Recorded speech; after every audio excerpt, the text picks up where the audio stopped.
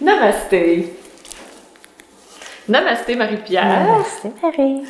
C'est un grand bonheur aujourd'hui de vous présenter Marie-Pierre Chaumont. Bienvenue. Merci beaucoup de m'accueillir chez toi. C'est tellement beau ton studio, c'est extraordinaire, vraiment là. Puis ça me fait vraiment plaisir d'accueillir Marie-Pierre aujourd'hui parce qu'elle va vous parler de quelque chose qui est un peu flyé, qui est Ah, très très différent. Donc je vous invite à être ouvert d'esprit. On va y arriver, on va y arriver.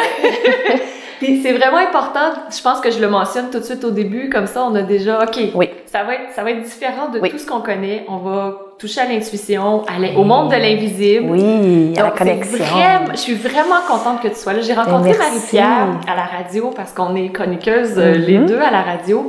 Puis on a développé une affinité. Oui. Puis C'est vraiment super ce que tu fais. Ben, J'étais merci beaucoup. en consultation avec Marie-Pierre aussi, ma fille, mon amie, enfin. voilà. Le chat, le chien, les voisins.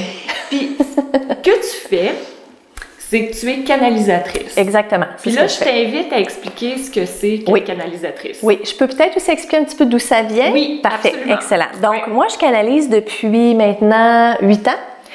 Et je n'étais pas toujours canalisatrice. En fait, ce que je faisais, c'est que j'étais conseillère en communication dans une caisse. Donc, et, une euh, institution financière. Une institution financière, exactement. J'avais ma petite jupe portefeuille, mes talons hauts, euh, j'écrivais des communiqués de presse, euh, donc j'étais très, très efficace. Donc, euh, si je recule un petit peu avant, moi, à 24 ans, j'ai eu un cancer du système lymphatique qui s'appelle Hodgkin's. Et je savais que j'avais quelque chose à apprendre là-dedans, mais je n'étais pas certaine. Donc, je pensais que c'était au niveau de l'alimentation. Et euh, fait que finalement, j'ai guéri. Je sentais qu'il y avait quelque chose qui essayait d'attirer mon attention, mais j'ai pas beaucoup écouté parce que je, je, je savais pas où m'enligner de toute façon. Et euh, fait que j'ai j'ai finalement tombé enceinte de jumeaux. J'ai eu deux beaux garçons. Ils n'ont pas dormi pendant trois ans. Yeah! C'était extraordinaire. Yeah pour les jumeaux. Autres, Il y avait beaucoup de plaisir. Il y avait beaucoup de plaisir. Ma fille non plus pas dormi avant trois ans. C'est c'est quoi. C'est de la torture. Donc, euh, fait qu'après trois ans, de nulle part, ils ont commencé à dormir. Moi, je travaillais à ce moment-là à la caisse et euh, j'ai vraiment fait un beau burn-out. Un beau burn-out. Euh, je suis arrivée à mon travail une journée, je me suis assise à mon bureau et je ne me rappelais pas ce que j'étais censée faire. Donc, euh, ils m'ont renvoyé chez moi et j'ai dû prendre six mois de congé pour guérir, qui était un des moments les plus humiliants de ma vie parce que je pensais qu'avoir un burn-out, ça voulait dire qu'on était faible, ce qui est absolument pas le cas. Euh, donc, durant le burn-out, j'ai commencé à méditer pour m'aider avec l'anxiété et durant les méditations, j'ai commencé à avoir des frissons à gauche, des pressions sur les tempes euh, et je sentais qu'il y avait quelque chose qui circulait, mais j'étais pas certaine. Donc, euh, au fil de mes semaines, j'ai commencé à m'intéresser à la connexion, mais c'était vraiment, j'étais à mes tout débuts, fait que j'avais été me chercher des cartes d'oracle. Je sais pas si tu as déjà entendu parler de ça, Oui, des oui, cartes oui. d'oracle. C'est un peu comme des cartes de tarot, mais c'est un petit peu différent.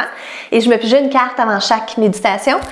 Et je pigeais toujours la carte travailler avec l'énergie ou la carte être travailleur autonome. Mais voyons donc. Je la remettais dans le paquet parce qu'elle m'intéressait pas. Et je repigeais la même carte. Constamment. Wow! Je pigeais juste deux cartes. Donc, une journée, j'ai, parce que moi, j'avais un, travail qui était très payant, j'avais une pension qui m'attendait à la fin. Je me disais, c'est clair que je ne quitte pas ça. Et donc, une journée, j'ai pigé la carte être travailleur autonome, travailleur à son compte, puis j'ai dit à voix haute, mais j'aime ça, mon travail. Puis c'est la première fois que j'ai entendu clairement une voix qui a dit, non, t'aimes pas ça. Quand j'ai entendu ça, j'ai réalisé que je m'étais menti toute ma vie. En fait, j'avais pris un rôle parce que les gens avaient des attentes envers moi. Moi, j'avais des attentes envers moi. Je m'étais mis une pression incroyable pour performer, pour être quelqu'un que je n'étais pas. Moi, j'aime ça être en pantalon de yoga à longueur de journée. J'aime ça. Toi aussi? Moi aussi, j'aime ça. En pyjama? En pyjama, j'aime ça. Puis j'aime, pas ça être en gros talon puis courir euh, pour écrire des communiqués de presse. C'est, super ceux qui aiment ça, c'est fantastique. C'était juste pour moi. Donc, euh, ça a ouvert la porte beaucoup sur, OK, donc si à plusieurs reprises, l'univers ou mon corps a essayé de me dire, t'es pas heureuse, Marie, t'es pas en alignement avec le cancer, avec le burn-out, là, faut que j'écoute. Faut que Mais là, t'as entendu une voix. Là, j'ai entendu une voix. Oui. Bon, là, je vais expliquer la voix. C'était pas une Voilà. voix, euh, tu sais, qui, qui. Marie-Pierre. C'est ça, exactement. C'était pas ça. là. C'est mon chum dans le garde-robe qui me disait.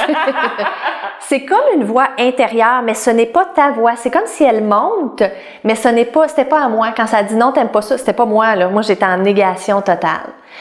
Donc, cette voix-là, souvent, on, est- on- on se dit, on la réprime, on se dit, mais non, c'est- mon imagination ou ça n'a ça, ça a pas rapport. Mais c'était tellement détaché de moi que je ne pouvais pas l'ignorer. Puis le message était tellement à l'encontre de ce que moi je me disais que c'était clair que c'était pas pas à moi. C'était pas à moi. Donc, moi, ce que j'ai fait, c'est que je suis retournée travailler à la caisse suite à mon, arrêt de travail, sachant que j'allais quitter éventuellement.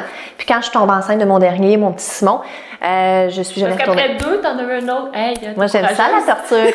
T'es ça la courageuse. torture, oui, oui. J'étais censée en avoir quatre, mais là, j'ai dit, OK, non, on arrête là.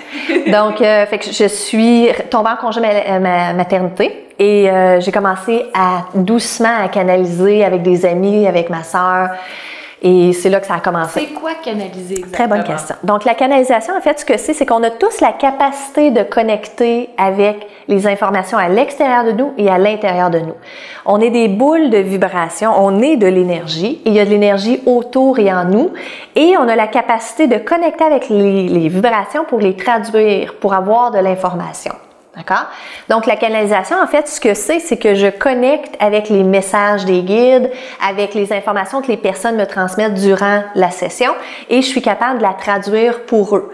Souvent, ça rentre dans notre subconscient, puis moi, je suis capable de l'amener dans mon conscient pour la traduire. Donc, au début, souvent, quand j'essayais de comprendre, c'était plutôt des frissons, c'était des vagues de chaleur. Donc, je savais pas ce qui se passait. C'était en fait, j'apprenais le langage de la vibration. Et souvent, les gens ils me disent, mais moi, je voudrais canaliser. Tout le monde peut canaliser, vraiment. là. C'est simplement qu'il faut apprendre le nouveau langage, un nouveau langage qui est le langage de la vibration, de la connexion. Puis ça prend du travail à faire sur soi. Donc, c'est de développer sa capacité Exactement. à ressentir. Exactement. Premièrement, à être très présent dans son corps, parce que moi, je pensais que pour connecter, il fallait que je sorte de mon corps. Je pensais que l'information qui flottait autour, il fallait que j'aille la chercher. Ce que ça faisait, c'est que j'étais plus présente dans mon canal, et donc je pouvais pas traduire l'information avec autant de précision. Donc, mon défi, c'était aussi que, comme c'est difficile un petit peu la vie, puis j'avais vécu certaines expériences de vie difficiles, j'avais tendance à fuir, je sortais de mon corps. Je, je- puis quand je faisais ça, je n'étais pas complètement présente, j'étais un peu dans le brouillard. Donc, les premières deux années de la canalisation, moi, j'ai dû énormément apprendre à être présente même quand j'étais inconfortable, ce que je ne faisais pas, et aussi apprendre à nettoyer mon énergie. J'avais accumulé énormément de débris énergétiques, comme beaucoup, beaucoup d'entre nous. Et donc, les deux premières années, je disais à mon chum, je suis tellement pas bien dans ma peau, là. Ah, je me sens tellement pas bien, mais c'est parce que j'ai tout remonté à la surface. Wow. Et on ne peut pas accompagner quelqu'un adéquatement si on n'a pas fait notre travail sur nous. Wow. Donc Je me maintenant, rappelle aussi quand on a fait la session, Oui. puis que tu me l'avais fait, tu avais dit, OK, là, t'as as des gens qui sont pris Ah oui, ici, il y a des gens qui sont pris là, c'est ça. accrochés, puis là, on les enlevait. Exactement. c'est parce que souvent dans les, c'est parce qu'on est puis je énergie. sentais la différence après, là, Oui. ça s'est capoté. Oui, c'est ça, Oui. parce que quand c'est nous, souvent, là, de plus en plus, on est capable de se nettoyer avec l'expérience. Mais au début, moi aussi, il a fallu que j'apprenne. Fait que parfois, j'avais comme, comme juste une lourdeur ici, mais je savais pas c'était quoi. Ça me prenait plusieurs jours. À un moment donné, je réalisais, ah, c'est telle personne. Puis là, je respirais dedans. Je pourrais vous donner quelques trucs après pour Oui, vous nettoyer. Oui. Donc, euh, et pour pouvoir le laisser aller. Et ce qui est arrivé, c'est que quand j'ai commencé à le nettoyer, j'ai canalisé, commencé à canaliser beaucoup plus précisément. Parce que j'avais plus mes blessures qui bloquaient Les filtres. Exactement. filtres, ouais. Mes filtres, mes blessures, mes propres patterns, mes modèles qui m'avaient été enseignés par ma famille, par la société. Et donc, au début, quand je canalisais, mettons, je vais donner un exemple. Euh, si je voyais une personne avec un couteau dans l'énergie de la personne, tout de suite, j'assumais danger. Il y a du danger. En fait, c'était pas ça. Il faut maintenant que je connecte avec l'énergie du couteau, qui parfois, ça veut dire de la culpabilité, du ressentiment, de la peur. Donc, c'est c'est très, très... euh, il y a plusieurs couches à la canalisation. Donc, il faut apprendre toutes les subtilités. Mais si on est toutes plein de débris puis on ne sait pas nettoyer, on peut pas connecter avec la subtilité du, du message. Wow. Puis toi, ce qui est particulier aussi, c'est que tu connectes avec les guides. Oui, entre autres. Entre autres. Entre autres. Entre autres. Parce que tantôt, juste avant qu'on commence, il y a d'autres mondes qui se sont rajoutés à nous. C'est devenu weird. Ah, il y a telle personne aussi qui veut être là. Oui, oui. D'accord. Parce qu'en fait, ce qui est en train d'arriver, ben, c'est les gens qui écoutent Oui. reçoivent ce qu'ils sont censés recevoir. C'est pour ça. Oui. Donc, si on regarde au niveau des guides, Oui. comment on fait pour.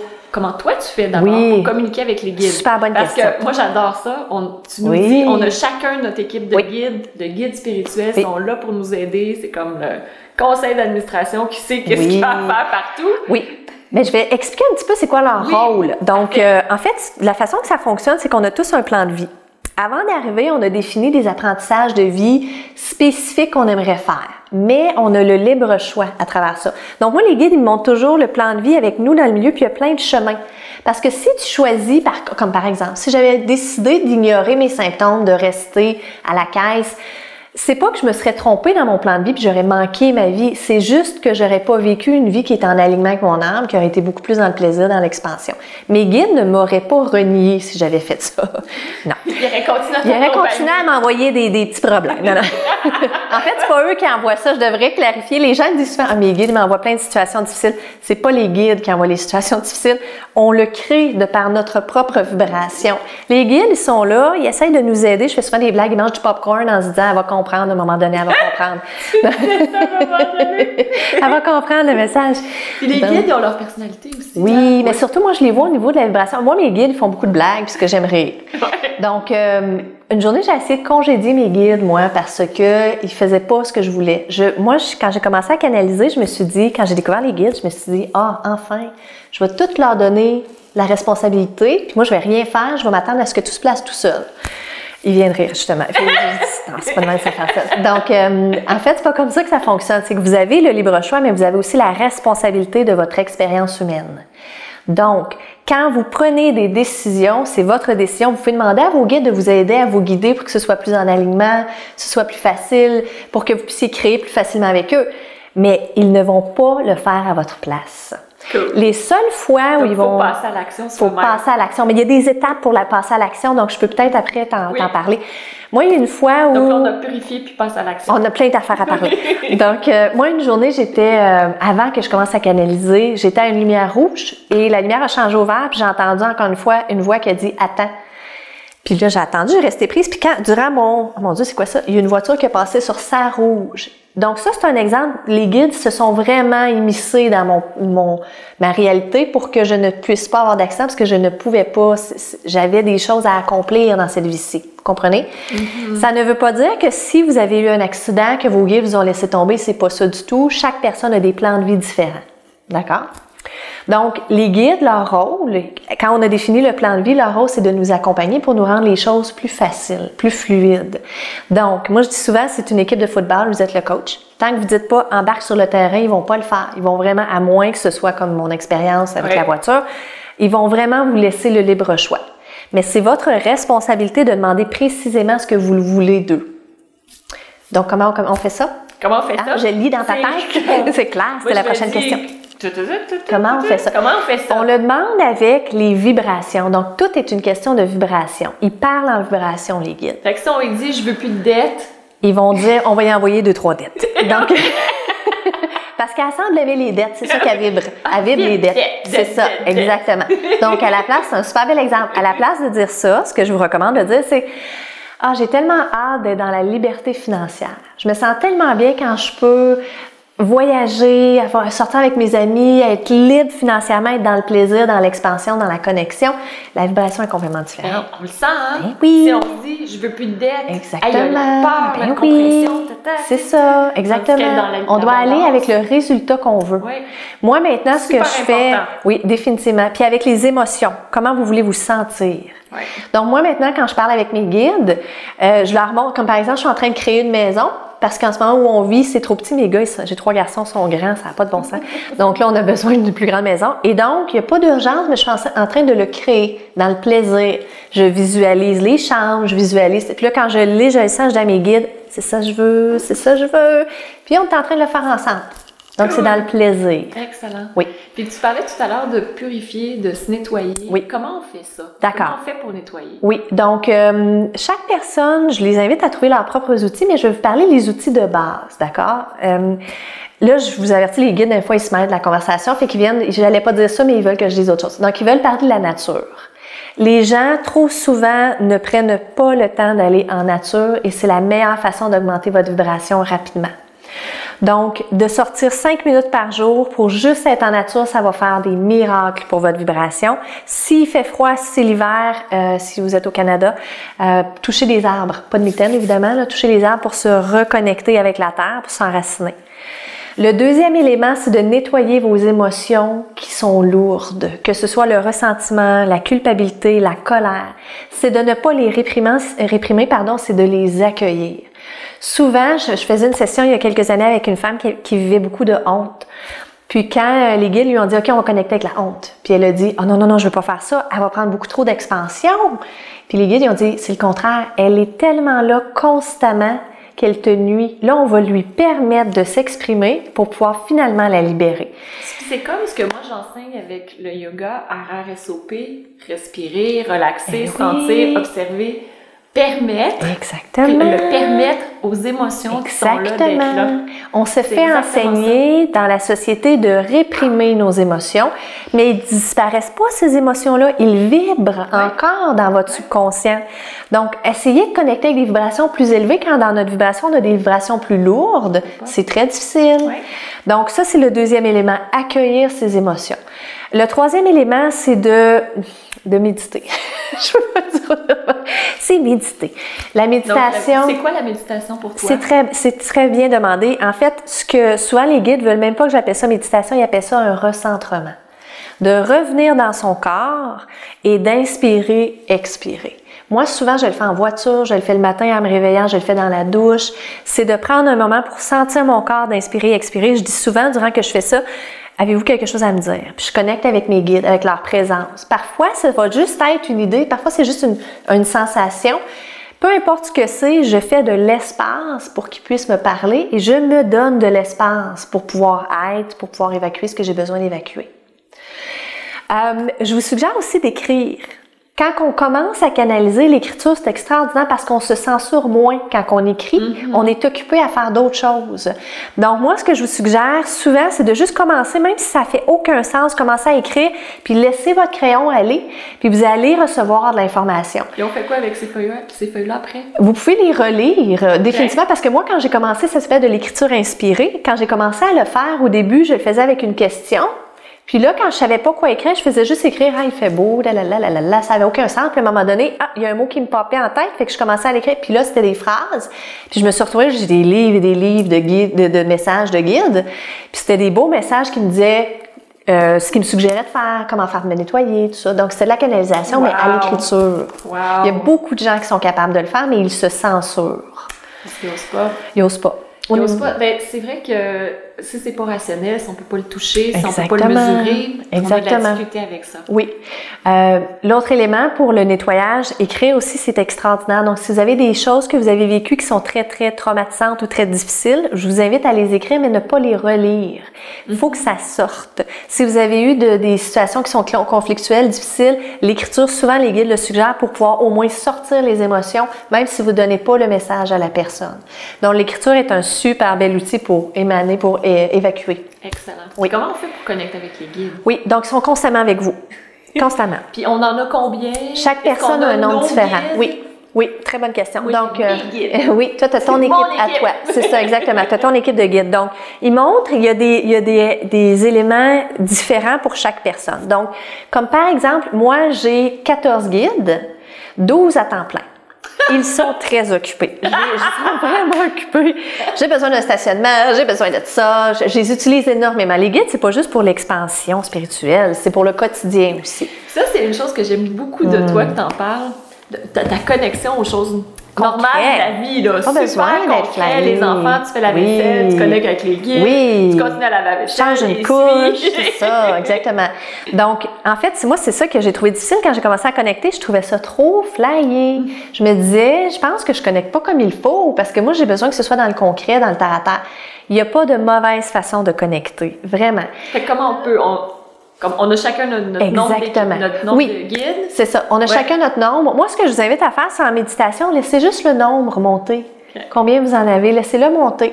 Moi, quand, que, euh, quand je dis, d'habitude, je dis, OK, moi, j'en ai 12, puis il y a un, petit 14 qui monte en arrière. Ce que ça veut dire, ça, c'est que j'en ai 12 compl- con- à temps plein. J'en ai deux qui sont dans, en arrière qui me font travailler, qui travaillent pour moi, pardon. L'autre élément qu'ils veulent que vous compreniez, c'est en plus des guides, il y a aussi les archanges qui viennent nous aider. L'archange Michael, l'archange Uriel, euh, l'archange Raphaël, Gabriel, il y en a plusieurs. Donc, eux, souvent, c'est des, ils prennent certains dossiers. Donc, euh, si par exemple vous êtes guérisseur, il y a des bonnes chances que Raphaël soit un de vos archanges parce qu'il guéri- l'archange de la Comment guérison. fait pour le, le savoir? Donc, moi, je, je, je pense que si on a une attraction, si on est poussé à connecter avec un ange ou un guide, c'est parce qu'il essaye de connecter avec nous. D'accord? Moi, j'utilise énormément Michael parce que j'avais très peur au début hein, de la connexion. J'avais peur de me retrouver dans des situations incontrôlables ou dans des vibrations super basses. Donc, il y a là maintenant, j'ai compris que c'est moi qui décide là, qu'est-ce qui rentre et qu'est-ce qui ne rentre pas. Mais il y a des moments où il y a des vibrations plus basses, je, demande à Michael, viens juste l'enlever de là, là pas d'affaire là. Et il est fantastique, il est fantastique. Fait que ça, si vous avez peur, demandez-lui de vous accompagner là-dedans. Euh, au niveau de, de, de, la canalisation aussi, il y a des moments où il y a d'autres groupes de guides qui entrent juste pour certaines étapes. Donc moi, par exemple, en plus de mes guides au quotidien, je canalise des groupes de guides qui sont là pour plus l'humanité. Là, on tombe dans le flyer. Là, là on tombe dans le flyer. OK. Donc, euh, fait que Ça, des... tu m'en avais pas parlé. Non, je, je l'avais pas dit. je le gardais pour la vidéo. J'avais vu mes yeux gros. Donc, euh, c'est des, des guides qui sont en fait présents pour. C'est plus pour augmenter la vibration de la terre, pour le nettoyage. Donc, euh, oui, j'ai un de mes groupes de guides qui s'appelle Cryon, K-R-Y-O-N. Puis, petite anecdote là-dessus. À un moment donné, j'étais à la table avec mon conjoint, puis il me dit Mais comment ils s'appellent tes guides Puis je, je sais pas. Puis là, Cryon, mon, j'avais jamais entendu ça. Puis là, je le vois écrit K-R-Y-O-N. Cryon. Là, mon chum, évidemment, il prend son téléphone, puis il Google. Il dit, Hey, c'est une vraie affaire. Il y en a vraiment un. Puis il y a un groupe de guides, Cryon. Donc, c'est un de mes groupes de guides. Donc, moi, je vous invite à pas rester trop rigide dans c'est qui, je canalise qui, quoi. Ça, c'est important. Juste dans le plaisir, Ouais, c'est ouais. ça. Moi, j'ai plusieurs, j'ai, ils me disent souvent que j'ai 21 groupes de guides en haut, mais je sais même pas comment ils s'appellent. Je connais juste deux des noms, parce que c'est pas nécessaire. Je serais trop dans la rigidité si j'avais besoin de savoir tout. Donc, c'est une autre affaire, ça ouvre une autre porte. Enlevons-nous du chemin quand on canalise. Ça, On n'a hein? pas besoin de tout contrôler. On veut de l'information. on veut, mettre- on veut tout mettre dans des cases alors que Exactement. ça peut pas y aller. Ben, des fois, c'est pas chakras, possible. justement, tout Oui, à exactement. Et tu disais, ben, tu sais, mais les chakras, euh, Moi, j'utilise pas beaucoup les chakras. J'ai rien contre les chakras, vraiment Ouais. rien. C'est simplement que moi, je connecte différemment. Mm-hmm. Donc, souvent, les gens, on en parlait tout à l'heure, tu sais, les gens utilisent leur troisième œil. Moi, c'est rare que mon troisième œil il est activé. Moi, mes guides, ils me ramènent toujours dans mon chakra du cœur parce que c'est là qu'est l'essence. Puis quand je suis connectée avec mon essence, ben, je, suis, je suis en connexion parfaite avec l'univers, avec mes guides. Donc, pour moi, moi, j'ai pas besoin de ça. c'est Ouais. juste personnel. tu reçois l'information. Moi, l'information, elle rentre de, de tout autour. Donc, parfois, j'ai des, des blocs d'informations qui entrent. Des downloads, hein, Des downloads, c'est ça. Donc, downloads. euh, c'est comme des gros blocs d'informations. Comme Marie-Pierre a dit, j'ai reçu un download. Un download. Mais c'est là, mon chum, dans la cuisine, l'autre fois, je, je rentre dans la cuisine, puis il est comme ça. Là, j'ai T'es-tu en train d'avoir un download? Ben oui! Il sentait sa, sa, sa, tête, elle vibrait, là. C'était extraordinaire. Puis ce qui est extraordinaire les downloads, c'est que on n'a pas besoin de tout savoir c'est quoi. Moi, j'ai des blocs d'informations qui rentrent. Comment je le sais? C'est qu'énergétiquement, il y a comme une grosse charge énergétique qui rentre. Souvent, à un moment donné, j'avais, j'avais, ça poussait, puis je le sentais, puis je l'ignorais. Puis à un moment donné, mes guides, ils ont dit, OK, Marie, va t'asseoir, là, on essaye de te parler. Fait que moi aussi, des fois, je les ignore. Fait que j'ai été m'asseoir, puis je pensais que ça allait prendre cinq minutes, puis une demi-heure plus tard, je suis ressortie de ma méditation. Ça avait été très intense. Je savais même pas c'était quoi. Puis trois jours plus tard, je suis en souper avec des amis, puis mon ami est en train de parler, puis à un moment donné, il y a une espèce de truc qui sort, une espèce de symbole, puis je me lève, puis là, le download que j'avais reçu, c'était pour ça. Donc, je m'enlève du chemin. Ça m'appartient même pas. C'était mes cool. guides qui avaient besoin de travailler sur mon ami Derek, puis ça a juste rentré comme ça. Wow. Oui. Ça a été un, Wow. un apprentissage difficile pour moi de m'enlever du chemin. Je voulais tout contrôler. Je pensais que c'était moi qui faisais le travail, en fait. Puis Donc, beaucoup, beaucoup de lâcher prise. énormément, à quelque chose énormément, beaucoup d'humilité. J'ai trouvé parce Oui. que de pas savoir, ça prend de l'humilité pour dire je ne sais pas ce qui se passe Faire en ce moment. Pas d'ego. Wow. Parce qu'en fait, c'est même pas moi. Tu sais, quand les gens me disaient, hey, t'es extraordinaire. Ben, en fait, c'était pas moi qui fais le travail. Merci, mais j'ai dû apprendre à pas être dans l'ego parce qu'en fait, si sans mes guides, moi, je ne serais pas capable de faire ça. Wow. Et donc, je m'enlève du chemin. Des fois, je fais des canalisations, puis mes guides, ils me disent, tasse-toi, Marie, t'es dans le chemin. Parfait. Puis je ne prends même pas personnel. Moi, je suis juste là pour leur faciliter le passage. Donc, dans la canalisation, c'est pas juste à propos de nous, la canalisation. C'est aussi pour leur permettre de faire le travail qu'ils sont censés faire. C'est merveilleux. Puis là, on peut te rejoindre de plein de façons. avec ton livre, Avec mon livre. par Skype. Oui. Tu vas donner une formation aussi bientôt pour Oui. être capable de canaliser. Oui, Donc, on commence euh, avec le, le oui, livre. on commence avec ça. le livre. Mon livre, Donc, Une vie lumineuse. Oui. Parle-nous de ton livre. Donc, oui, Comment il t'a été inspiré? Oui. Puis, c'est quoi ces trois clés? Ou si tu veux juste Oui, bien sûr. Non, non, il n'y a pas de problème. Ouais. Donc, euh, moi, en fait, ça faisait. Moi, j'adore la lecture, j'adore lire. Ça faisait cinq ans que je voulais écrire le livre, mais j'avais trop peur du jugement, donc je ne le faisais pas. Et je n'étais pas prête de toute façon. Et finalement, ça, la vie s'est placée. Je l'ai écrit en deux mois. Euh, mais l'information, ça faisait des années que je la recevais. Donc, c'est il est sorti en deux mois. Et ce que c'est, c'est la connexion spirituelle, les deux pieds sur terre. Moi, ça a besoin d'être concret. Donc, comment on fait pour connecter spirituellement, concrètement? Selon moi, il y a trois clés. Il y a le plan de vie, qui est la première clé. La connexion, le plan, c'est quoi l'expérience humaine qu'on veut vivre en lien avec l'expérience de l'âme? Donc, il y a des exercices pour vous aider à mieux comprendre c'est quoi votre plan de vie, qu'est-ce que vous voulez vivre comme expérience? Super concret. Oui, oui, oui, il faut que ce soit concret. Faut- oui, il faut que ce soit concret. En deuxième, c'est la vibration. Donc, je parle de la vibration, c'est quoi, comment on fait pour jouer avec la vibration? Puis la troisième, c'est la création. Comment on fait pour créer? Manifester, Yes, les choses qu'on exactement. qui existent, existent. Exactement. Moi, je ne fais rien maintenant sans avoir créé dans l'énergie avant. Je travaille beaucoup moins fort. Ce livre-là, c'en est la preuve. J'avais peur de me dire qui va me publier, puis mes guides me disaient, fais juste le créer, puis ça va se placer. Et ça s'est placé parfaitement. Super. Donc, euh, oui. Fait que ça, c'est une première façon. Mhm. On peut aussi être en consultation avec toi Oui. en personne Oui. ou encore euh, Euh, sur Skype. Sur Skype, oui. Donc, Puis comment euh, ça se passe? Parce que moi, je l'ai vécu, oui. mais dis-nous comment ça se passe. Oui, donc juste avant que j'oublie, moi sur mon site, mon site web, le calendrier est virtuel, donc les gens Ah peuvent réserver ça. Donc euh, quand on s'assoit en session, c'est une session d'à peu près une heure, puis on s'assoit et là il y a comme des portes qui ouvrent. Comme moi, c'est pas moi qui gère la session, donc les guides tout de suite ils entrent avec OK, on va travailler ça. Fait que souvent, comme par exemple, j'étais assis en session cette semaine, puis j'avais des premiers respirants en commençant, je savais que c'est là qu'il fallait qu'on aille. Donc on commence avec ça. La mère de la cliente était complètement accrochée après elle, donc on a commencé par décoller ça. Puis là, il y avait des, euh, des, des éléments de sa grand-mère, de son arrière-grand-mère que elle, elle avait pris. Donc on a fait un gros nettoyage. Puis ensuite, elle regardait son travail. Puis quand je regardais son travail, c'était pas en alignement avec elle. Donc là, les guides, ils disent pas, faut que tu démissionnes. Ils donnent des suggestions pour qu'elle puisse commencer à, tra- à, à, euh, transitionner vers ce qui serait beaucoup plus en alignement avec elle. D'accord? Donc ça vient sous forme d'image. Moi, ça vient des phrases. Ça vient des, des fois, ça parle tellement vite parce que c'est, pas moi qui parle. Ben, je, je, suis pas en- je suis pas en transe, là. Mais, mais elle parle Euh, vite d'avance. Je parle vite pour commencer, mais en plus, parfois, moi-même, là, faut que j'apprenne mon ça, parce que c'est un bloc de pensée qui rentre vite, vite, vite. Et tout le long de la session, je fais souvent des blagues. Moi, mon travail, c'est de distraire la personne, parce que 10 de mon travail, c'est moi qui le fais, mais le 90, c'est dans l'énergie. Fait que je travaille, puis là, le guide, lui, est en train de faire ça, puis un autre guide qui fait d'autres choses. C'est drôle. Euh, c'est vraiment drôle. Ouais, puis il y a des fois où le travail s'est commencé avant que je commence la session. Donc, quand je commence, mettons l'appel ou le Skype, fait déjà 10 minutes là, que le guide est, déjà en train de travailler sur la personne. Donc, moi, je suis vraiment la facilitatrice. C'est eux qui, qui font le C'est pour ça travail. que tu dis que tu es une canalisatrice. Je canalise. Tu un canal. Exactement. Le reste, c'est pas toi qui C'est pas occupe. moi qui s'en occupe. Non, Super. exactement. Oui. Puis aussi, ce que tu fais, c'est que tu apprends, tu aides aux gens Oui. à apprendre à être canalisatrice. Oui, le- l'enseignement, c'est la pierre angulaire de mon rôle ici. Oui. En fait, moi, ma, ma grande passion, c'est d'enseigner aux gens comment être travailleur de lumière. Il y avait quelqu'un qui m'avait dit à un moment donné, on n'est pas tous travailleurs de lumière. Puis moi, la façon que je le perçois, c'est qu'on a tous la capacité de l'être. C'est pas tout le monde qui décide qu'ils ont le goût de faire ça, de connecter avec leur lumière, de la partager, de, te Ça connecter fait avec cette peut-être pas tous partie de notre plan de vie. Exactement. C'est exactement ça. Il n'y a pas de jugement selon le plan de vie de chacun leur appartient. Donc, euh, je lance une, une école en ligne qui s'appelle l'Académie de la Lumière, qui va être lancée le 5 mai, qui est l'anniversaire de ma dernière chimiothérapie. Donc, euh, c'est super, super comme date pour moi. Chaque année, 5 mai, je célèbre la vie. Puis là, je vais la célébrer avec ma nouvelle, euh, ma nouvelle école. Et la première formation, c'est une formation de 8 mois en accompagnement très, très personnalisé. Je prends juste une quinzaine d'étudiants et je vais accompagner les gens pour enseigner comment on fait pour se nettoyer, comment on fait pour connecter, comment on fait pour accompagner.